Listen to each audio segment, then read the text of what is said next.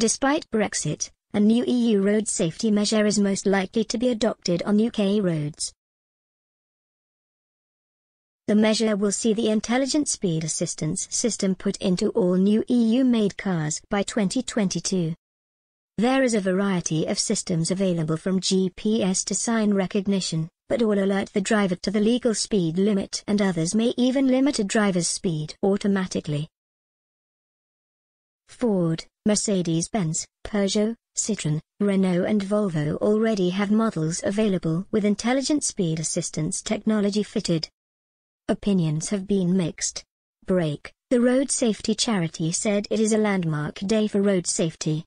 However, the AA has critiqued the move saying a little speed can help drivers with overtaking and joining motorways.